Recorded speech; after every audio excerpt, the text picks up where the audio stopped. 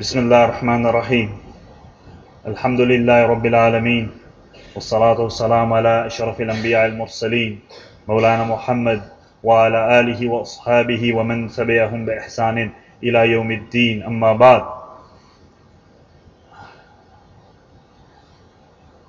One of the earthly manifestations of rahmah is the mother.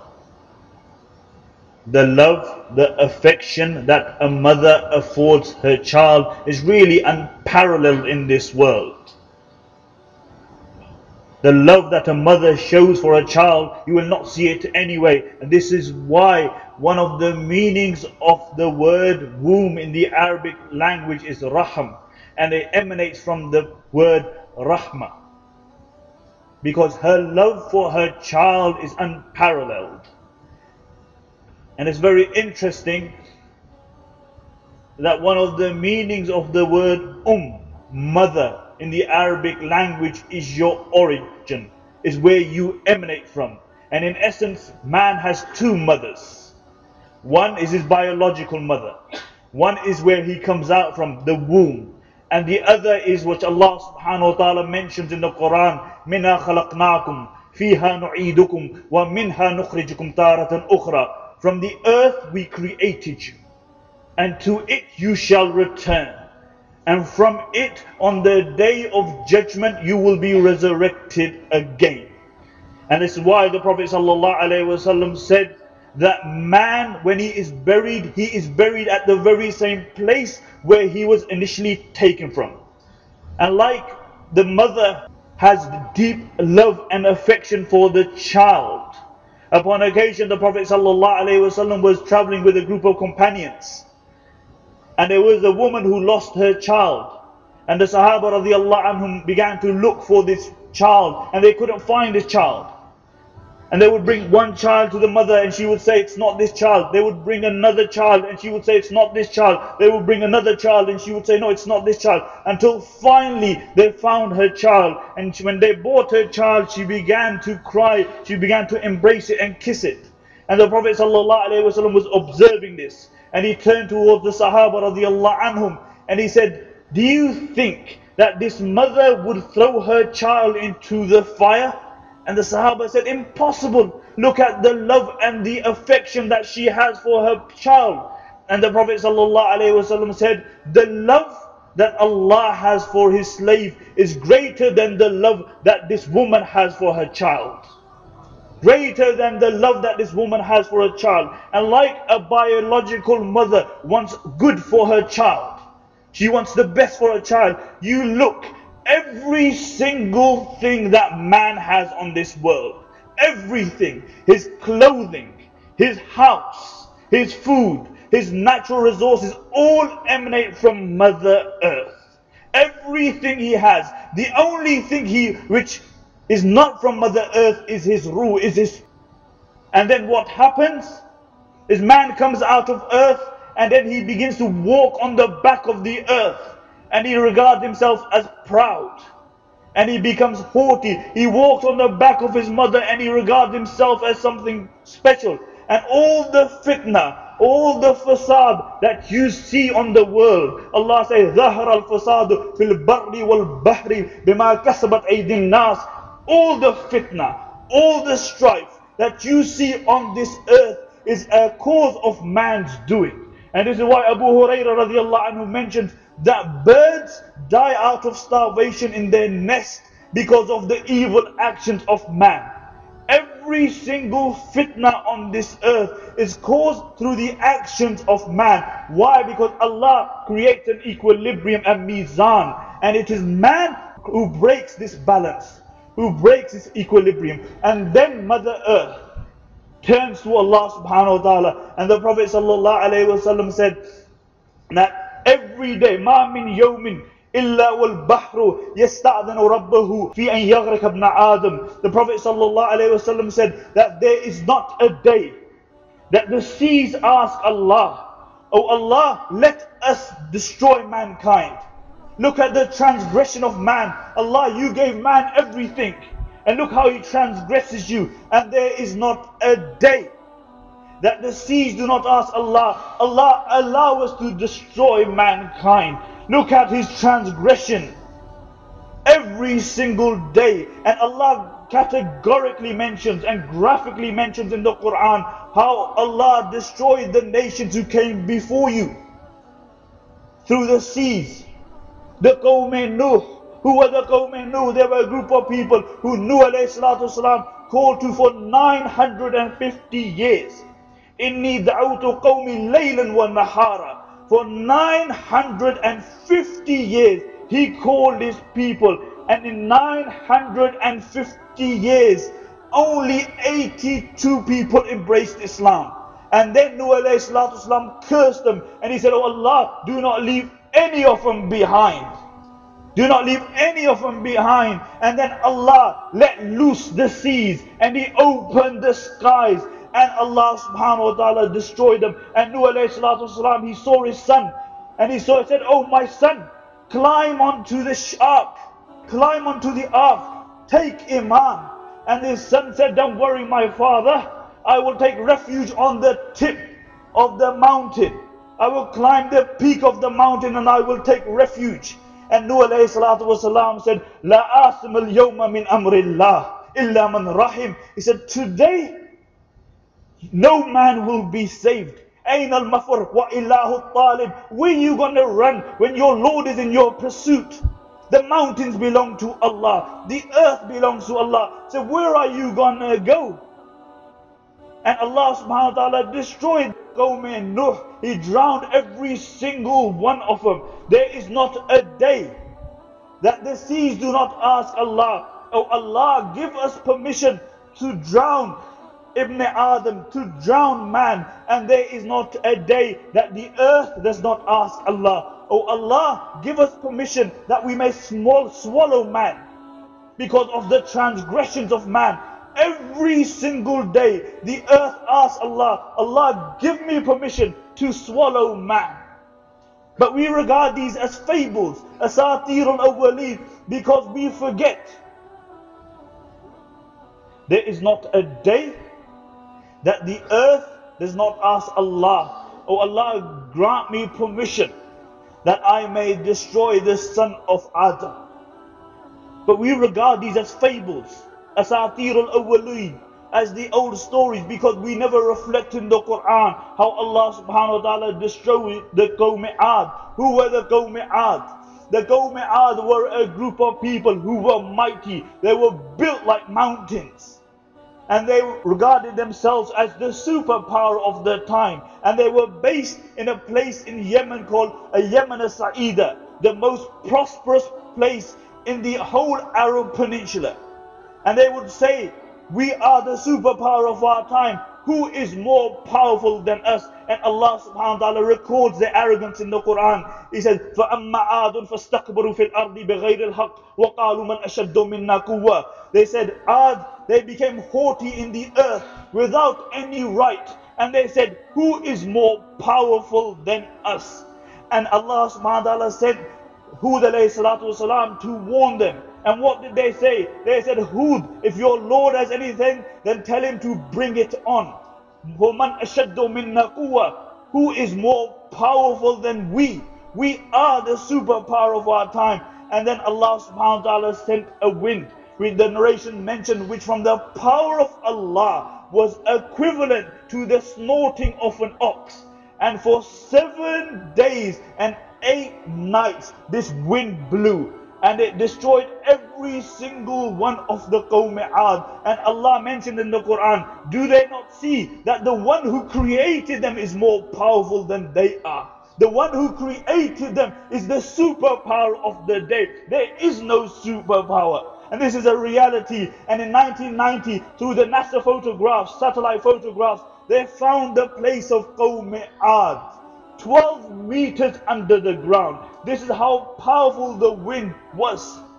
And they would say, Man ashaddu minna quwwa. Who is more powerful than we are? And Allah says, Do they not see the one who created them is more powerful than they are? And today you look at Yemen Sa'ida, that's what it was known as, the most prosperous place out of the Arab Peninsula because this was a mighty civilization. Now that part of the Arab Peninsula is the worst part. It is the most treacherous part of the desert. It takes anything which passes in it. It swallows things like the sea swallows it. There is not a day that the seas do not ask Allah, Oh Allah, allow us to destroy Ibn Adam.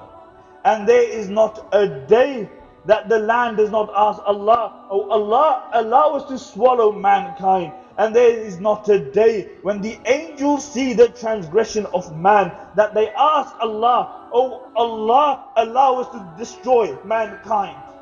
Allow us to come down and destroy mankind. But we don't really believe this because we forget what Allah did with Qawm Lut. Who were Qawm Lut? Lut were a group of people who were homosexuals. And Allah mentioned in the Quran that nobody before you ever did this action. They would discard their women and they would marry men.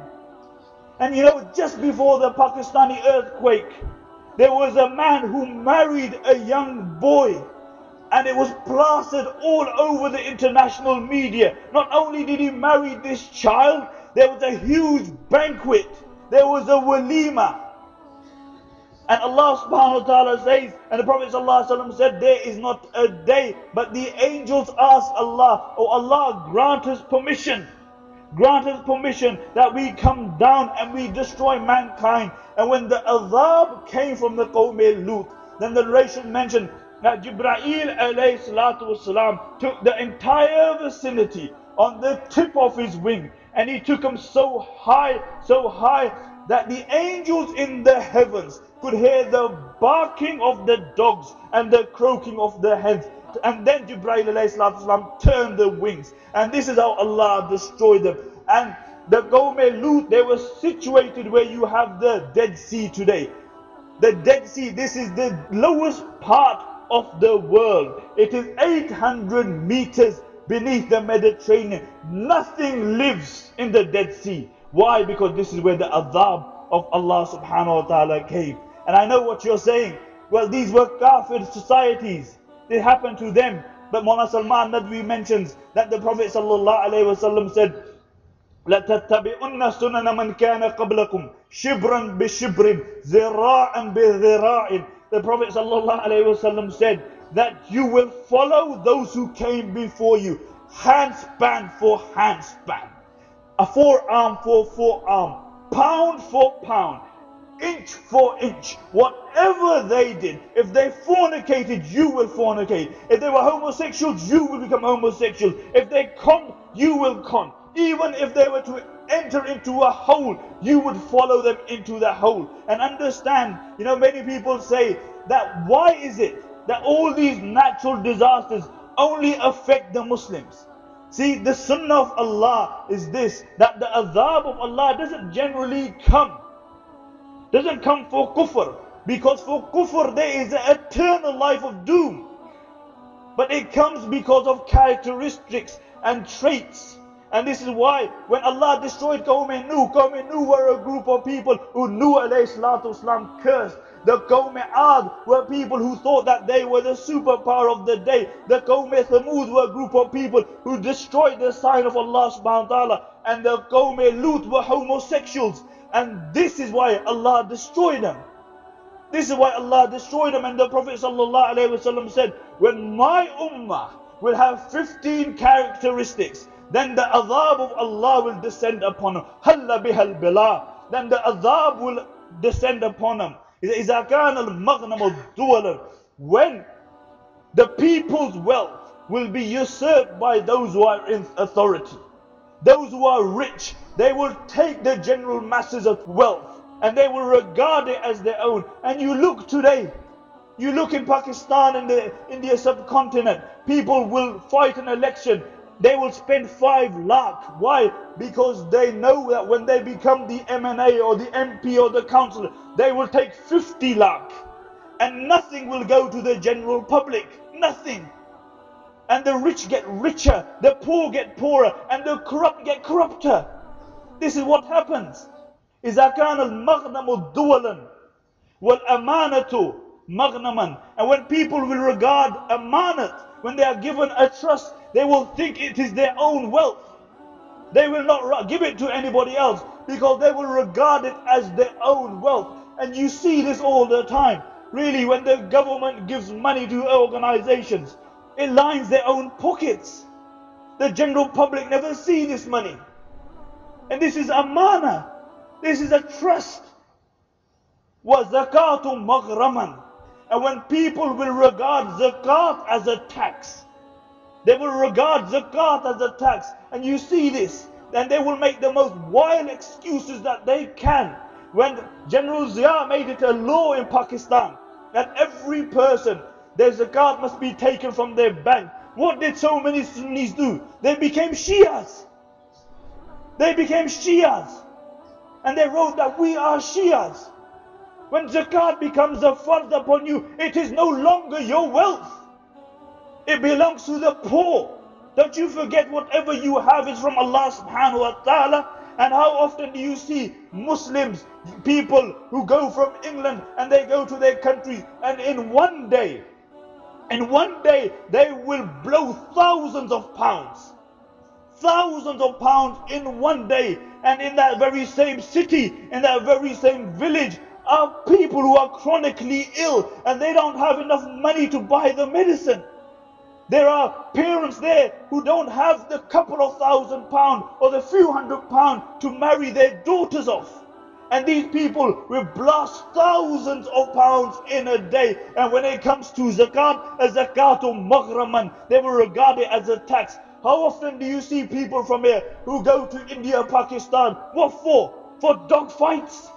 And they spend thousands of pounds on a dog fight.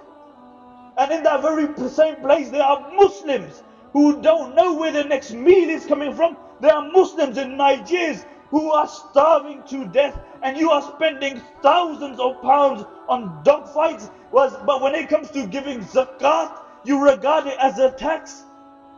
The Prophet ﷺ said, When man will obey his wife and he will disobey his mother, when he will be good to his friends and he will throw his father far away. And you see how many people today, you know, they're the murids of their wives. They're the murids of their wives. And they totally disobey their mothers. Why? Because they're infatuated with this new love. Your wife, wife has rights and your mother has rights. They both have rights and it's imperative upon you to fulfill the rights of both and not forget any of their rights. And then the Prophet ﷺ said, وَإِرْتَفَتِ الْأَسْوَاتُ فِي الْمَسَاجِدِ And people will forget the sanctity of the masjid. They will shout in the masjid. Voices will be raised in the masjid. Janab kya You will forget the adab of the masjid. And voices will be raised. People will fight. They will forget the adab. They will fight in the masjid. But really, it's even past that now. You look at places in the world People are scared to go to the masjid because they fear that they may be gunned down. And they have police standing outside the masjid five times daily salah. And then the Prophet ﷺ said, وَكَانَ زَعِيمُ الْقَوْمِ أَرْذَلَهُمْ وَأُكْرِمَ الرَّجُلُ مُخَافَةَ شَرِّهِ That the leader of the qawm and the nation will be the degenerate, the scum, the most self-centered person. He won't be concerned about anything. He won't be concerned that he will have to stand in front of Allah subhanahu wa ta'ala and he will be subservient to others than other than Allah subhanahu wa ta'ala. And then the Prophet said that they will be respected, not because people respect them, but people fear their evil. People fear their evil, so they want to keep them sweet because they know what nasty piece of work they are. And you look at the world today, you look at our leaders, nationally or globally, they're all Abu Righals. Illa mashallah. Majority of Abu Righal, do you know who Abu Righal was? Abu Righal was a person that when Abraha, the Yemeni governor, came to destroy the Kaaba, the year the Prophet ﷺ was born, he reached Taif and he met a man called uh, Abu Righal. And Abu Righal said, I'll show you where the Kaaba is as long as you give me some money. And Abraha said, fine. And when he reached the outskirts of Makkah, Abu Righal passed away. And what the Arabs would do is that they would pelt his grave. Why? Because this was a man who was ready to sell out his people and his religion for a dollar and a dime. And how many Abu Righals do you have today? Really? How many people do you have who will sell out their Muslim brothers? Who are subservient to other people? When the people, the leaders of the nation will be those who are the scum, who are the lowlifes. And they will be respected. Why? Not because people really respect him, but people want to keep him sweet because they know what a nasty person he is. You look at the Muslim Ummah, you look at the leaders, they are so evil that the Americans, when they want to torture somebody, they, they outsource their torture and these people torture them. And these are the state of the Muslims. You look at those people who are respected on the street today. Who are they? The drug dealers. Those parasites of society who will suck the bloodline of society. Why? Because they want to line their pockets. Why? Because they want to drive their big cars. And these are the people who are respected gunmen who will make other Muslim sisters orphans. These are the people who are respected in our society. When those who are respected will be why? Because people will fear their sin. They will fear the evil and that's why they will be respected. And then the Prophet ﷺ said, when, when alcohol consumption, my ummah will begin to consume alcohol and they will, men will begin to wear silk and people will begin to listen to music and they will hire women to dance and sing. And you look today, you look at um, many countries, what do they have? They have Kanjariyan dancing. They hire women to dance. They have music. It's a norm. You know, there was a time when our weddings were plagued with Hindu customs. Where we, we would have the mehndi, but because now we're Westerners, aren't we? We're Westerners. So therefore now we need to have the stag nights. Where women, we are women where alcohol is consumed. These are prophecies of the Prophet sallallahu alaihi wasallam. And then the Prophet ﷺ said, وَلَعَنَ آخِرُ هَذِهِ الْأُمَّةِ أَوَّلَهَا And those who will come at the end of the ummah, they will curse and abuse those who came at the beginning. And a'udhu billah, how often do you hear people saying that, that Abu Bakr and Umar were munafiqs?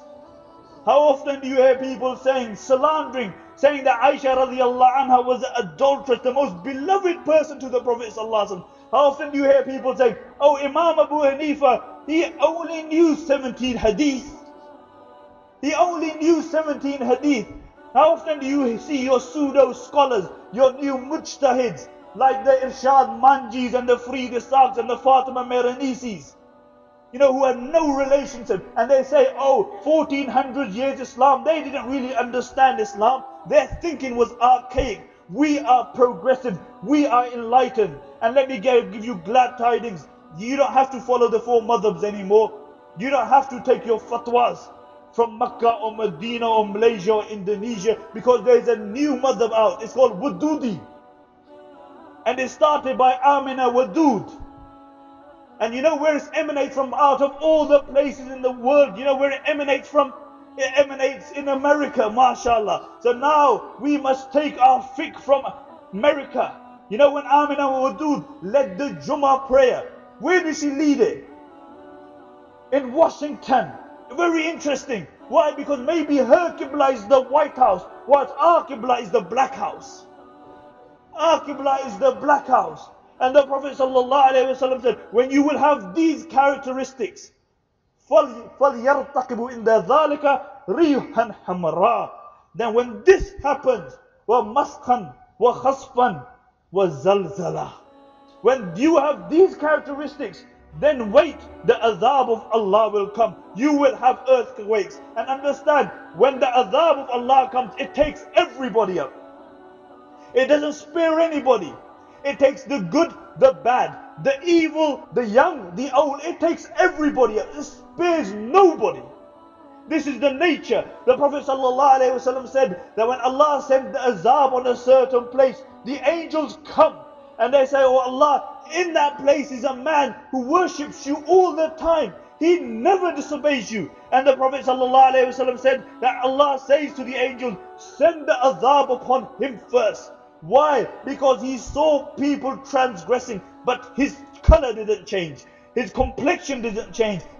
But after that, the Prophet ﷺ said, if a person dislikes what is happening, then what happens is on the day of judgment, إِنَّهُمْ يُبْعَثُونَ عَلَى نِيَاتِهِمْ They will be resurrected according to their niyat. If they were good, they will be resurrected as good. If they were evil, they will be resurrected according to their niyat. But when the azab comes, it takes everybody up. And why Allah chooses certain places, that's not for us. Allah knows the hikmah, and it is not for us to frown upon those.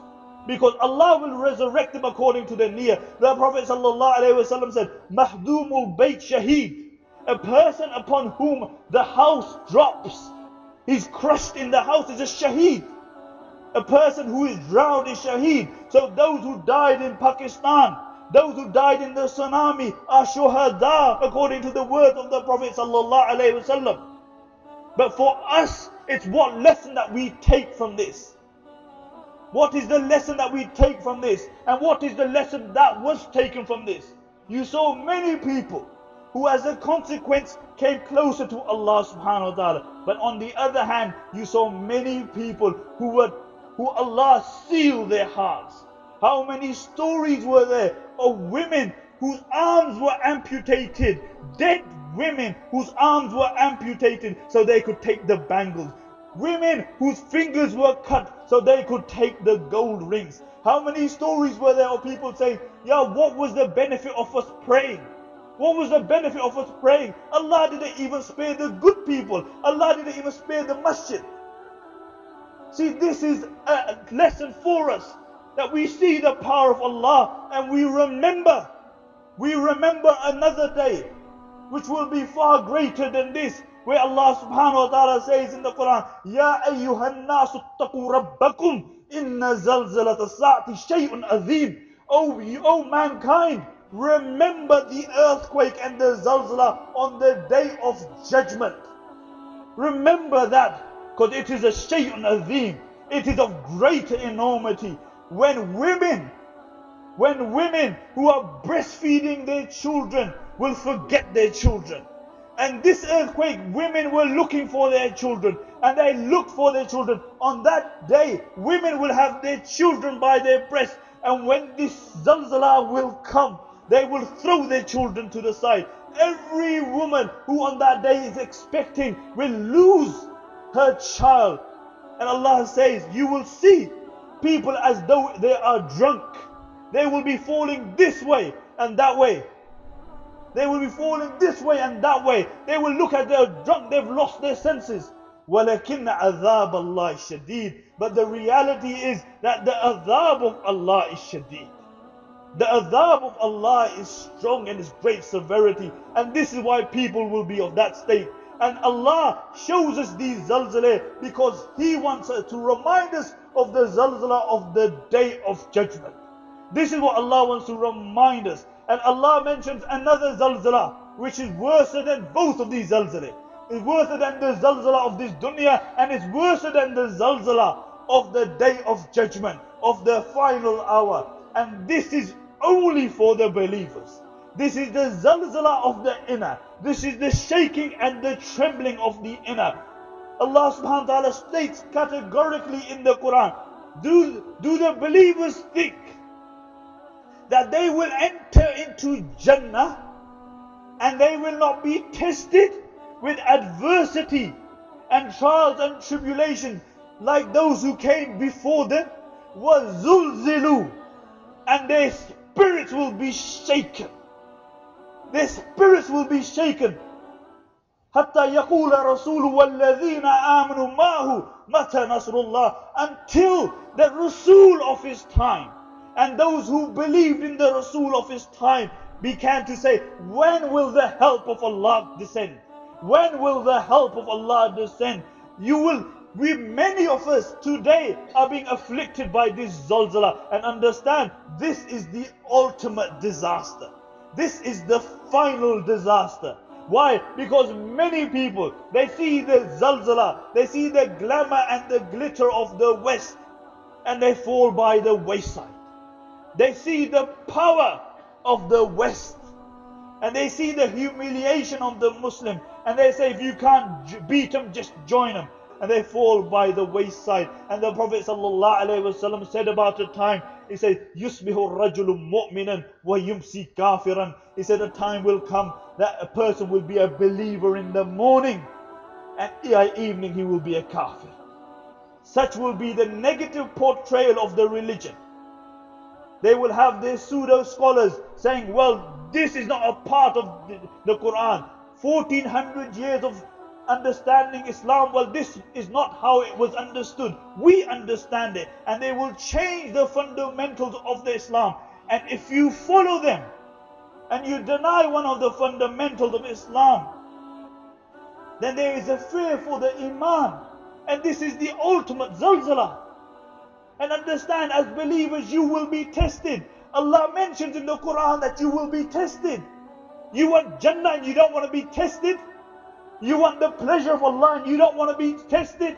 In the time of the Prophet ﷺ, how were the Sahaba tested? The likes of Bilal, I don't have to tell you the stories of Bilal, made to lie in the sweltering heat. And they would place a rock upon his chest. And then they said, now denounce your religion. And he would say, Ahad, Ahad, one Allah, one Allah. And Imam Halbi rahmatullah alayhi mentions that Bilal would dilute this torture with the sweetness of Tawheed.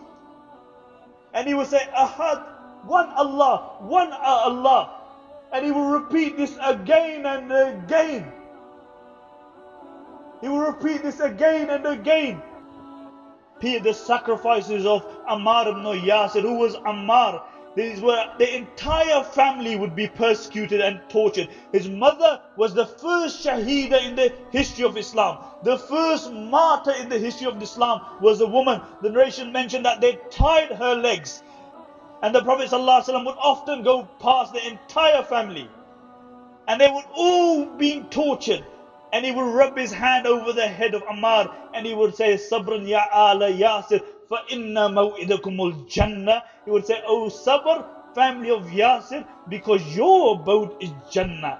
After years of persecution, these people came to the Prophet ﷺ and the Prophet ﷺ was leaning on the Kaaba. Bilal, Khubab, Ammar, and they said, O Messenger of Allah, all they said to the Prophet ﷺ was, O Messenger of Allah, make dua that the help of Allah descends. And the Prophet ﷺ was leaning on the Kaaba and he sat up and he said, Innakum qawman tastajilun. He said, You are a group of people who hasten.